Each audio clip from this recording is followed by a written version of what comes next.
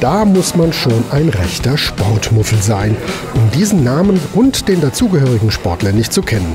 Luan Krasnici.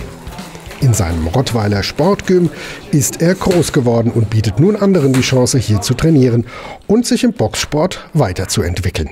Also ich bin hier seit äh, 1987 und allgemein die Halle hier habe ich seit 97. Also im Prinzip äh, sind es schon äh, 16 Jahre und ich habe meine größte Vorbereitung, meine Profikarriere habe ich hier gemacht. Der 40-jährige gebürtige Kosovo-Albaner hat zwar seine aktive Karriere beendet, aber auf die faule Haut legen, das ist nicht sein Ding. Im November will er wieder in den Ring steigen, diesmal für einen guten Zweck. Sein Gegner Uwe Hück. Porsche Betriebsratsvorsitzender und seines Zeichens zweimaliger Thai-Box-Europameister, der einstweilen schon einmal zu Besuch nach Rottweil kam und das nicht mit leeren Händen. Ich bin ja wie ein Robin Hood, ich bin meistens bei den Reichen und wenn ich von denen weggehe, sind die meisten erleichtert. Und der Wiedeking hat eine Stiftung und da bin ich Stiftungsvorstand drin. Wir haben in den letzten zwei Jahren eine Million Euro ausgegeben für soziale Zwecke und das sind 5000 Euro nicht viel. Nicht viel für den Spender, sehr viel aber für den Adressaten der Spende, den Boxsportverein Rottweil, der mit diesem Geld neue Trainingsausrüstung besorgen will. Der bevorstehende Kampf soll indes noch mehr Geld bringen. Also wir haben ja eine Überschrift, Luan und ich, das heißt ja blaue Flecke für soziale Zwecke.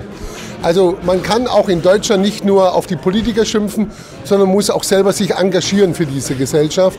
Und er hat ein gutes Projekt, SOS Kinderdorf, und ich hab, möchte eine Stiftung gründen, und das heißt Lernstiftung. Ich möchte den Menschen die Möglichkeit geben, die nicht so gut in Deutsch in Lesen, Schreiben, Rechnen sind, die können dann bei mir kostenlos, aber nicht umsonst, dann die Schule machen. Und dafür brauche ich eine Stiftung.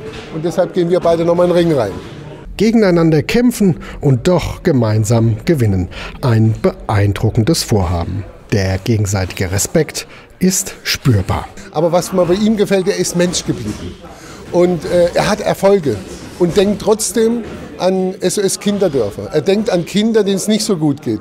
Und deshalb habe ich so granatemäßigen Respekt vor ihm, denn man sollte nicht vergessen, wo man herkommt. Ich habe äh, hab riesen Respekt vor seiner menschlichen Leistung, was er schon gebracht hat und vor allem die sportliche Leistung. Das, ist, das kann ich, äh, am Anfang habe ich gar nicht so richtig bewerten können, aber ich habe jetzt ein bisschen rumgechattet, ich habe ein Buch von ihm gekriegt und äh, ich habe ja seine Vita ein wenig durchgelesen und ich glaube, äh, Uwe Hück äh, verdient höchsten Respekt, dass er in seinem Alter, in seinem äh, jetzigen Stand, wo er ist als Mensch, dass der sich trotzdem der Aufgabe stellt und sagt, Luan, komm, hau mich oder ich hau dich. Und dann, es ist natürlich schon ein Riesenrespekt, da muss man Hut ab und, und äh, ihn loben.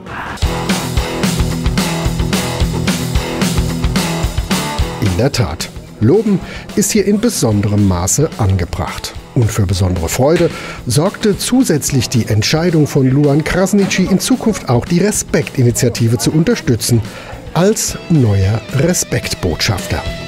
Liebend gerne. Ich bin darauf hingewiesen worden von Uwe Hück und ich bin auf der Webseite natürlich gegangen, habe gesehen und ich habe diese ganze Prominenten geschaut, aber ich habe mich nicht gesehen. Und ich freue mich, dass ich überhaupt dabei sein darf.